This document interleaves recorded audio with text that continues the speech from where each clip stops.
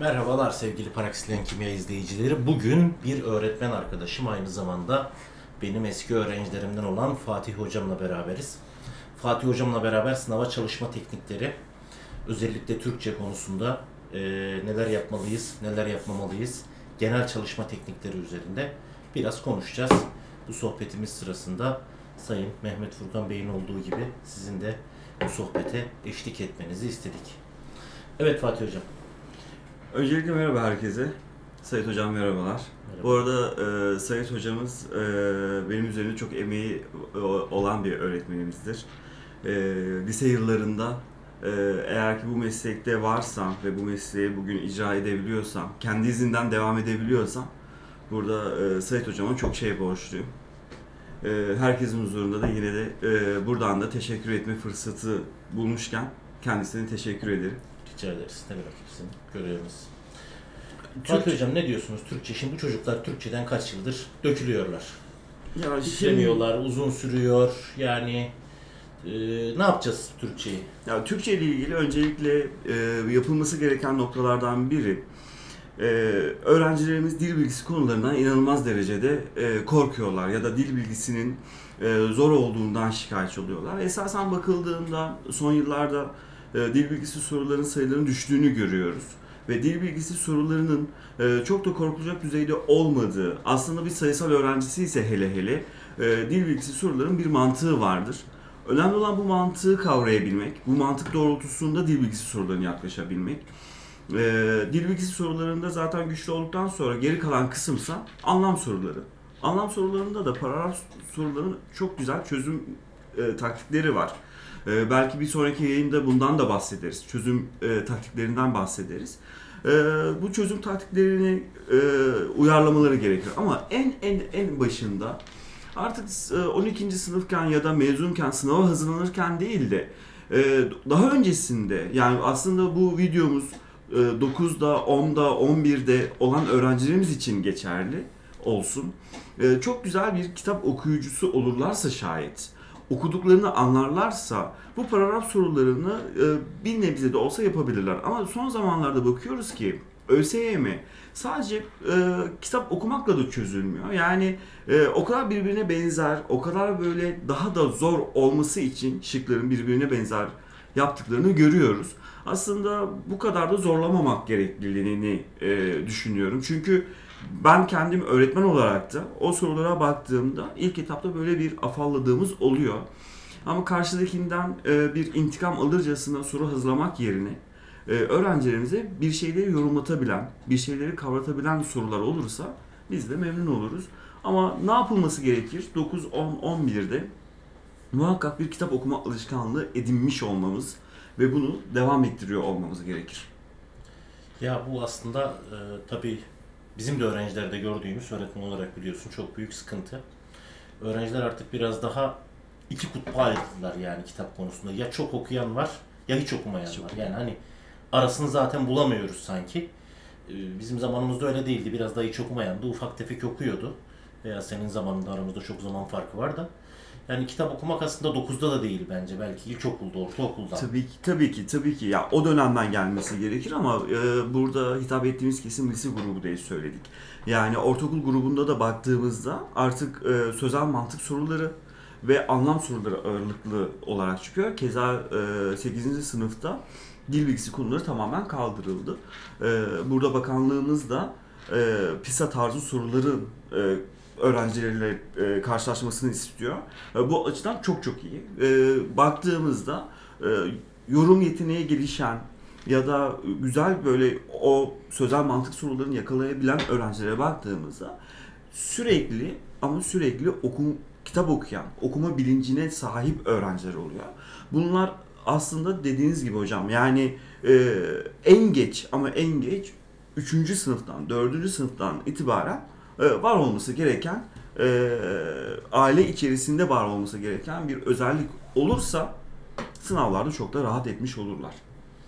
Peki şimdi e, kitap okumak şart. Özellikle ara sınıf için dediğiniz gibi 9-10'lar için ve hatta 6-7-8 değil ilkokul 3-4'te kardeşi olan arkadaşlar için mutlaka kitap okuma alışkanlığı şart. Kitap okuma alışkanlığı yani hani 25-30 soru diyorum ben çünkü en son 2018'de sınava girdiğimde 30 soru yaptım. 25-26'sı doğruydu. Benim dil bilgim hiç yok. Yani özne yüklem dışında dil bilgisi bilmiyorum arkadaşlar. Bu benim ayıbım ama hani edat dediğinde Fatih Hocam benim aklımda hiçbir şey canlanmıyor. Yani zarf dediğinde benim aklımda mektup zarfı dışında bir şey canlanmıyor. Yani hani hiçbir çağrışım yok. Bakın hiçbir çağrışım yok. E demek ki 30 tane yaptıysam, 30 tane işaretlediysem, 30 tane anlam var. 25'i doğruysa 25 kitap okumaya dayalı. Tabi bu oran değişiyor hocamın da dediği gibi. Belki ben iyi bir okuyucuyum. Bu 25'in 5'i 6'sı da yüksek teknik içeren sorudur ama iyi bir okuyucu olduğum için yapmıştır ama en az 5 tane anlamdan dediğiniz gibi çok zor soru var.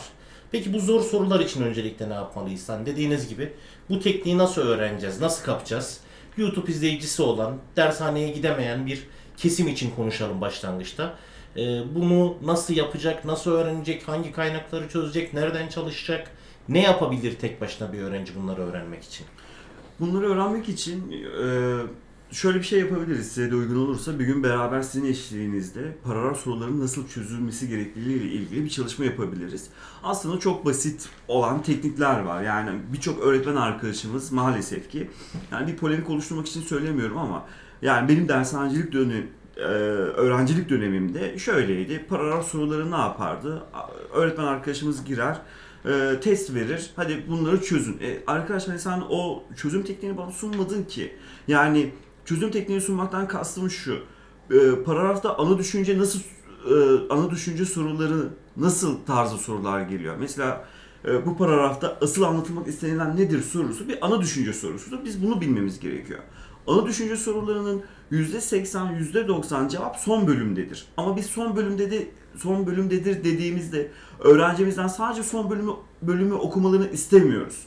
Biz öğrencimizden istediğimiz nokta tüm paragrafı okuyup ama son bölüme odaklanmalarını istiyoruz. Ama yine de böyle hap bilgiler verirken şurada dikkat etmek gerekiyor. Tüm sorular için bu genel geçer kural olmuyor maalesef. Nasıl? Özelden genele doğru giden anlatımlı paragraflarda son bölümde yakalayabiliyoruz cevabı. Ancak genelden bir şey anlatarak özele doğru ulaşan paragraflarda e bu sefer de asıl anlatılmak istenen paragrafın en başında oluyor. İşte öğrencilerimize bunları paylaşırsak onlara daha sağlıklı e, soru çözmelerini sağlamış oluruz. Mesela e, bu paragrafta hangisine değinilmemiştir? Bu paragrafta hangisi söylenemez? Biz bunlara çıkarım soruları diyoruz. Çıkarım sorularında genellikle yapılan yanlış şu hocam.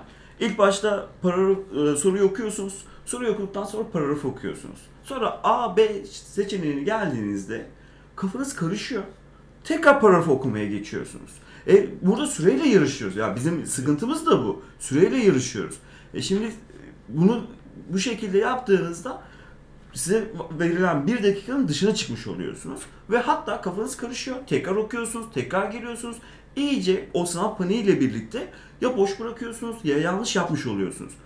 Mesela e, öğrencilerimize söyleyelim bu tarz sorular nasıl yapılır? Bu tarz e, sorularda, çıkarım sorularında değinilmemiştir, söylenemez sorularında yapılması gereken bir, önce paragraf okuyacağız. Pardon, önce soruyu okuyacağız. İki, seçenekleri okuyacağız. Çünkü biz neyi aramamız gerekliliğini yani küçük parçaları bütünün içerisinde bakmamız gerekiyor. Seçenekleri okuduktan sonra paragrafa döneceğiz. Sonra paragrafta da onları tek tek bulabiliyoruz. Onları bulacağız. Hatta cümlelerin bitim noktalarında kendileri böyle ayrım da yapabilirler. Bu, bu şekilde çözerlerse daha sağlıklı çözmüş olacaklardır. Gibi paragraf sorularının e, birçok çözüm tekniği var. Bunları da uygun olduğumuz bir zaman diliminde bir yayınla öğrencilerimize aktarmış oluruz. Evet hocamızın dediği gibi paragrafta teknik önemli. İyi tekniği bilirseniz sade okuma anlamaya yönelik değil, yönelik değil. Bu teknik sizin çözüm hızınızı da çok arttıracak. Çok daha hızlı çözmenizi sağlayacak. Muhakkak, muhakkak. Şimdi benim kimyadan TYT için e, şöyle bir çalışma tekniğim var öğrencilere tavsiye ettiğim kitap çözmede. Önce işte konuyu çalış. Bu konuyla ilgili kanaldaki yaprak testleri, soru çözümlerini izle. Daha sonra elindeki bir kitaptan çöz. Daha sonra iki gün, üç gün sonra artık işte bu ne zamansa yaptığımız program kişiye bağlı değişiyor. İkinci konuyu çalış. Aynı şekilde ikinci konuyu çöz. İkinci konu bittiğinde dön birinci konudan ikinci bir kitabı çöz şeklinde sarmal bir çalışma. Yani 3 gün 4 gün arayla aynı konuyu bir daha çözüyoruz ki unuttuğumuz bilgiler aklımızda kalsın. Tüm TYT böyle bitince en son bir tekrar kitabı daha çözüyoruz. Bunun gibi öğrencimiz elinde bir kitap aldı veya iki kitap veya üç kitap. Önce kaç kitaptan çözmesi gerekir? Ve bu kitapları çözüm tekniği nasıl olmalı?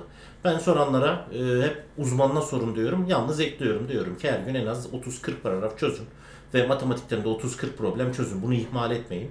Bunun dışında bir kitabı bir öğrenci nasıl bitirmeli Türkçe'de? Hocam öncelikle e, bir konu anlatımı yapıldığında özellikle dil bilgisinden yola çıkarsak. Dil bilgisinden diyelim ki biz isimleri anlattık. İsimleri anlatırken e, öğrencilerimizle karşılaştığımız en büyük problem şu. O sorunun e, bize neyi sorduğunu öğrencimiz bilmiyor. Yani bir soru tarzında aşağıdakilerden hangisinin sözcüğün türü farklıdırla aşağıdakilerden hangisinin sözcüğünün yapısı farklıdır sorusunu ayırt etmesi gerekir. Yani aslında biz öğrencilerimize soru tarzlarını kavratıyor olabilmemiz lazım. Yani bir konu anlatımını güzelce dinlemesi ve iyi bir konu anlatımı dinlemesi gerekir. Daha sonra söylemiş olduğunuz gibi e, ben burada limit yayınlarını özellikle çok beğeniyorum. Yani sınava böyle inanılmaz derecede sınav odaklı, sınavdaki sorulara eşdeğer e, soruları oluyor. Limit yayınlarından e, şey konu anlatımından sonra muhakkak bunu çözmeleri gerekiyor. Ancak çözerken diyelim ki 12 12 sorumuz var. Bu 12 sorunun diyelim 6'sı doğru, 4'ü yanlış, ikisi de boş. Yani burada moral bozmamak gerekiyor. Burada bu yanlışının ne, neden yanlış yaptığını kavraması gerekiyor. İlk başta kendisi bir bak, bakmalı. Eğer anlayamıyorsa, ya, yanlışının nedenini kavrayamıyorsa muhakkak bir Türkçe öğretmeninden bunu e, nedenin nedenini öğrenmeli yanlışını. Daha sonra söylemiş olduğumuz gibi e, ikinci bir kaynak, üçüncü bir kaynaktan mutlaka ama mutlaka ben sarmal bir şekilde değil isimleri söylemiştik. İsimleri dinlediyse, isimleri çözdüyse tüm kaynaklardan bunları bitirmeli. Eksiği kalmamalı. Ama muhakkak ama muhakkak e, günde 30, 40, aslında 50 olsa da iyi olur. Muhakkak bir e, pratik kazanmak yönünden paragraf soruları çözmeleri gerekir. Ama burada genç arkadaşlarımıza önereceğim diğer bir nokta. Sınava hazırlanan arkadaşlarımız muhakkak ama muhakkak e, telefondan ya da ekrandan e, oyun anlamında söylüyorum bunu uzak durmaları gerekir. Çünkü e, ne kadar ekran bağımlılığı olmuş olursa oyun anlamında ya da Instagram, sosyal medya anlamında biz de anlam sorularında bir o kadar ilgi düşmüş oluyor. Yani kendi o e, yoğunlaşması düşmüş oluyor. Bu sebeple e, biz bunun da dezavantajını yaşıyoruz. Yani bir öğrencim e, 40 sorudan 22 neti anca görürken e, biz onları işte bir telefon de- detoksu diyoruz. Sosyal medya detoksu diyoruz. Bunları uyguluyoruz. Aynı zamanda sizinle konuştuğumuz işte paragraf sorularını muhakkak günde 50 paragraf, 40 paragraf sorusu, dil sorularını tüm kaynaklardan bitirerek yaptığımızda e, ciddi başarılı ulaşan öğrencilerimiz var. Sonra da nasıl benim size doğacı olduğum gibi öğrencilik yıllarımda onlar da bize dua ediyor. Bu işin de maneviyatı e, bizi tatmin ediyor. Şimdi o zaman çalışmayı şöyle toparlıyoruz değil mi? Günlük minimum 40-50 paragraf yapıyoruz. Muhakkak hocam. Ee, çalıştığımız konudan da e, sarmal bir şekilde kimyada yaptığımız değil de, kimyada yaptığımız gibi değil de bir konuyu bütün kaynaklardan, isimleri çalıştık, isimleri bütün kaynaklardan eksiğimiz kalmayacak. Konuyu tamamen öğrenecek şekilde bitiriyoruz. Tamamen öğrenecek şekilde. Yani sarmal bir şekilde olması yerine en azından şey çok önemli benim e, kendi alanım için. Tüm kaynaklardan bitirdiğinizde artık e, son kaynağa geldiğinizde baktığınızda yanlış yapmadığınızda diyorsunuz ki ya ben bu konuyu öğrenmiş oldum. Eklemek eklemek istediğim bir yer daha var. E, bir konuyu özellikle Türkçe'de bilmiyorum diğer derslerde de öyledir diye düşünüyorum. Sizin de fikrinizi önemserim bu noktada. Bir konuyu akranına anlatacak düzeyde bilmesi gerekir öğrenci. Yani o öğrenci o konuyu akranına anlatabiliyorsa aslında orada tam öğrenme olmuş oluyor. Çünkü e, en iyi öğrenmenin ben anlatmadan geçtiğine inanıyorum. Genç arkadaşlarımız da o konuyu iyice çalıştıktan sonra bir arkadaşına kendisi anlatabiliyorsa güzel bir öğrenme sağlamış olur. Sonra da testlerini çözmüş olur. Evet evet anlatmada, öğrenmede çok etkili. Biz zaten bunu e, kendi adıma diyeyim girdiğim sınavlarda da görüyorum. Anlattığımız konularda çok daha fazla başarılı oluyoruz. Çok daha yüksek netler çıkarıyoruz. Ama sade çalışmak, sade anlamaya yönelik çalışmak biraz daha e, tam anlamış anlaşılmamasını sağlıyor. Anlatmak da bu konuda faydalı oluyor. Sizin aklınıza gelmeyen soruları getiriyor. Ben YouTube'da da bunun çok faydasını gördüm. YouTube'da öğrencilerin sorduğu sorular, öne attığı fikirler de kendimi çok geliştirmemi sağladı. Peki Türkçeden nasıl çalıştığımızı söyledik. Kaynaklar peki. Kaynak olarak limitten bahsettik. Ee, neler var başka kaynaklarımız? Her seviye öğrenci için limit uygun mu? Belli seviye için mi uygun? Ne yapacağız? Kaynak neye Ya çalışacağız? öğrencilerde şöyle bir e, sizin de söylediğiniz üzere şöyle bir yaklaşım var. Limit zor. Biz limiti yapamıyoruz gibi bir yaklaşım var. Aslında gerçekten limit yayınları öyle e, çok da zorlayıcı değil aslında. Yani böyle öğrenciyi bezdiren soru tarzları yok. Yani başlangıç düzeyindeki bir arkadaş arkadaşımız iyi bir konu dinledikten sonra ama bu muhakkak önemli. E, limitle başlayabilir. Limitle başladıktan sonra yayın denizini çözebilir. 3-4-5'i çözebilir. Ve aynı zaman içerisinde de e, bireyin e, B olan serisini çözerse e, Türkçe ile ilgili her şeyini tamamlamış olur. Yani sınava hazırlanacak arkadaşımız 3-4 kaynaktan konularını bitirmiş olursa, özellikle bahsettiğimiz yayınlardan konularını bitirmiş olurlarsa kendilerini hazır hissederler. Hem e, soruların farklılığını, soru çeşidi görmüş olurlar. Hem de geriye dönüp baktığında der ki ya ben 4 tane yayın bitirmişim. Yani kendisini daha güç- güçlü hisseder manevi olarak da. E, en azından bir 3-4 kaynak bitirmelerini istiyoruz. Ne olabilir? Limit, yayın denizi, 3-4-5 ve e, birey B'yi çözerlerse, e, birey B biraz daha zorlayıcıdır. Çözerlerse kendilerini daha iyi hissederler. Ya biraz önce doğru söylüyorsunuz. Biraz önce bir noktayı söyleyecektim. Araya bölmemek için unuttum. Ee, telefondan, ekrandan, tabletten işte uzak durun derken bunu yayınlarda unutuyoruz. Bazen hatırlatıyoruz. Soru çözerken de arkadaşlar özellikle yazarak, çizerek çözdüğünüz sorularda, matematikte mesela, fiziğin problemli sorularında ve bence Türkçe'de de PDF üzerinden çözmeyin. Çıktı alıp çözün. Çünkü kağıttan okuma alışkanlığıyla tabletten okuma alışkanlığı farklı. Hani kimya kısa sürüyor. Kimya zaten 7 soru 2 dakikada bitiyor TYT'de. AYT'de 13 soru çok soru çözmüyor ama Türkçe gibi 40 soruyu hep tabletten çözdükten sonra bir anda kağıda geçmek bence psikolojik olarak da insanı değiştirir. Ben paragraf çözecekler için yani PDF'sini indirmiş olsa dahi e, bunu çıktı alıp çözsün diyorum. Siz ne diyorsunuz hocam? Hocam ya genç arkadaşlarımız aslında teknolojiye çok e, daha uyum sağlayabilen, çok daha güzel e, işler yapabilen öğrenciler. Eğer ki sınavımız e, online ya da çevrim içi ya da ekran üzerinden yapılan bir sınav olmuş olsaydı biz onlara PDF çıktılarını almalarını istemezdik.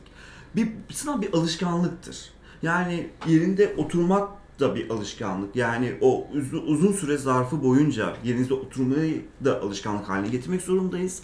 Ve aynı zaman içerisinde dediğiniz üzere yani biz muhakkak ama muhakkak e, bir PDF'in çıktısını almak zorundayız. Çünkü sınavda bize önümüzde e, kağıt üzerinden sorular geliyor. Onu bir dokunmak, onu hissetmek.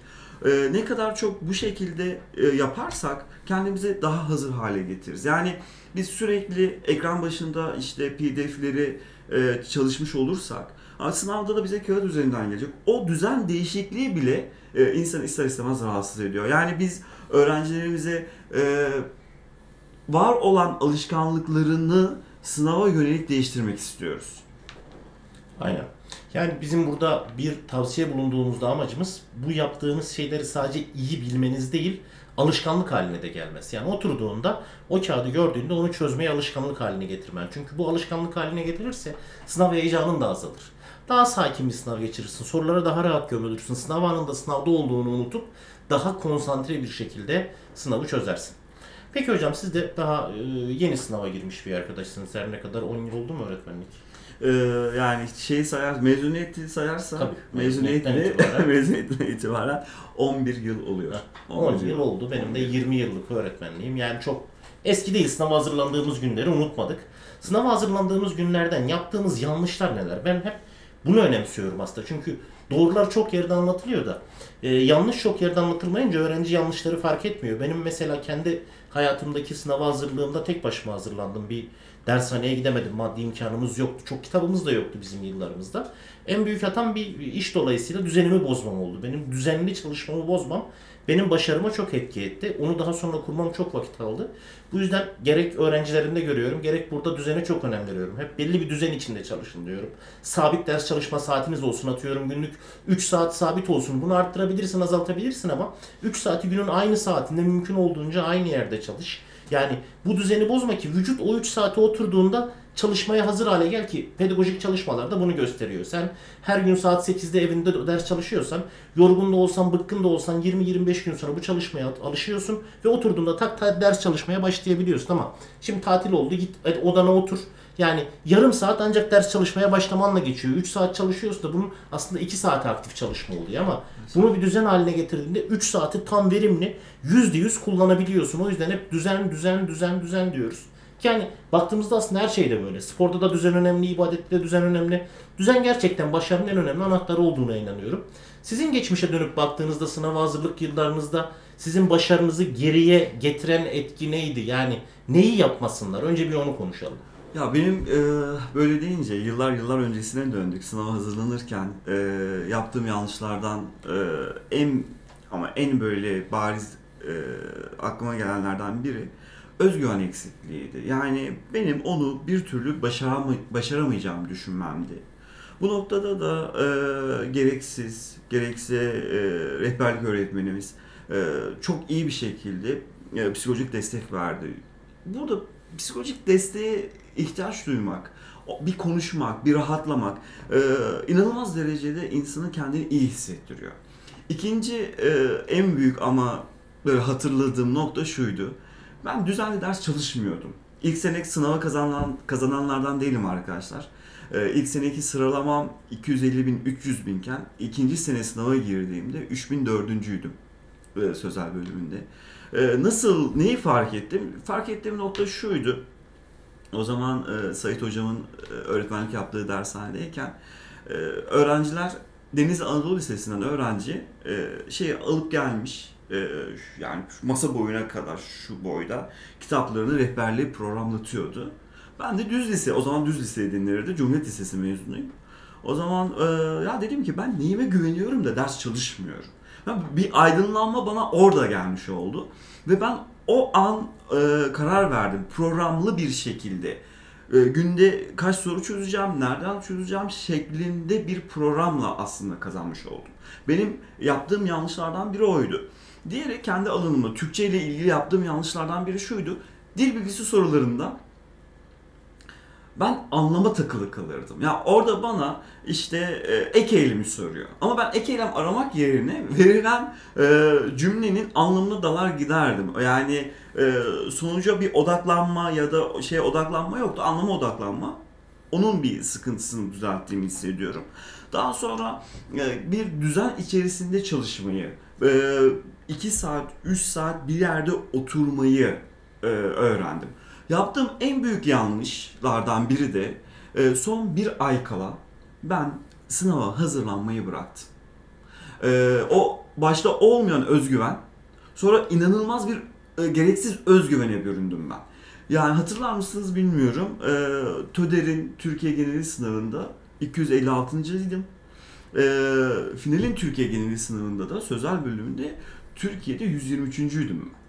Yani e, bir baktık ki ya her şey güzel. Ya bir sınavı kesin kazanacağız. Ya son bir ay rahatladım. Ve bunu yapmamalarını istiyorum. Yani e, aslında en kıymetli çalışmalar düzenli olan ve son aylarda o düzenin üzerinde biraz daha emek harcanarak yapılan yapılırsa o zaman sınav kazanılmış oluyor. E, aklıma gelen bunlar genç arkadaşlarıma bunları söyleyebilirim.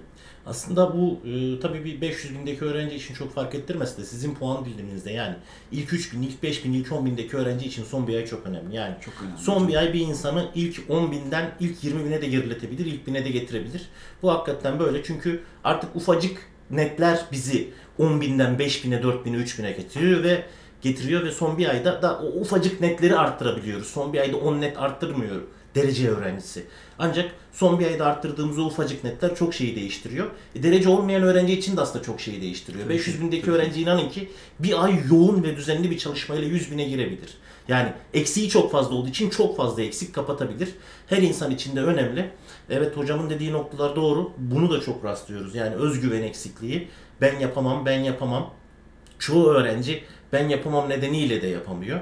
Ben yapamamdan uzak durmak, yani yapabileceğini bilmek nihayetinde bunu yapanın hepsi bizim arkadaşımız, bizim kendimiz gibi sıfırdan gelmiş insanlar. Özellikle Fatih Hocam da ben de mesela hani e, zengin bir aileden yetişen insanlar değiliz. İkimiz de e, yokluklar çekmiş ve imkansızlıklar içinde çalışmış bir şeyler yapmış. Kendi gücüyle, kendi çabasıyla, kendi düzeniyle bir şeyler yapmış insanlarız. E, Dolayısıyla ben hep şunu diyorum yani biz yapabildiysek siz de yapabilirsiniz. Bunda yapamayacak bir şey yok. Önemli olan şudur. Nerede olduğunu bilmek, ne olduğunu bilmek ve bunun gerekliliğini iyi tespit etmek. Yani e, bunu yapabileceğini bileceksin, özgüvenli olacaksın ve buna yönelik gerekli adımları atacaksın. Sen kendin e, araba için örnek verelim. Doğan Şahin veya işte Corsa olman önemli değil ama sen Corsa'yken kendini işte Mercedes S gibi görüyorsan bu olmaz. Bu sıkıntı. Sen Corsa'ysan Corsa olarak görüp kendini o seviyeden başarılı yapmak için gerekli adımları atar. Gerekli dersi çalışırsan başarılı olursun. Ve unutma bunu yapabilirsin yani. Bunu yapman için hiçbir eksikliğin yok. Hangi okuldan gelirsen gel. İşte hocam düz lise mezunu. Ben İmam Hatip Lisesi mezunuyum. Ben e, hiç biyoloji görmedim. Fizik bir dönem gördüm. İşte kimya gördüm. Matematik işte.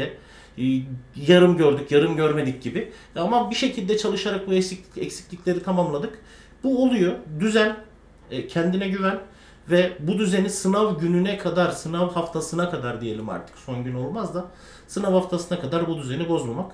Bu arada rehberlik öğretmenini dedik adını da analım. Mustafa hocamın çok sevdiğimiz bir öğretmenimizdir. Şu an farklı bir ilde, farklı kurumlarda çalışıyoruz. Uzun süredir görüşmedik ama Mustafa Kiziroğlu hocamız da çok çok sevdiğimiz bir rehberlik öğretmenimizdir. Fatih hocamın rehberlik öğretmeni. Belki onun dershanesinden de izleyen vardır bizi.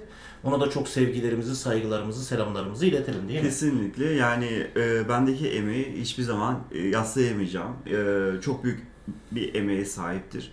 E, burada şey de çok önemli. Bir öğretmenle e, kurmuş olduğunuz o güzel bağ e, sizi sınav esnasında inanılmaz derecede motive e, ediyor, motive etmiş oluyor.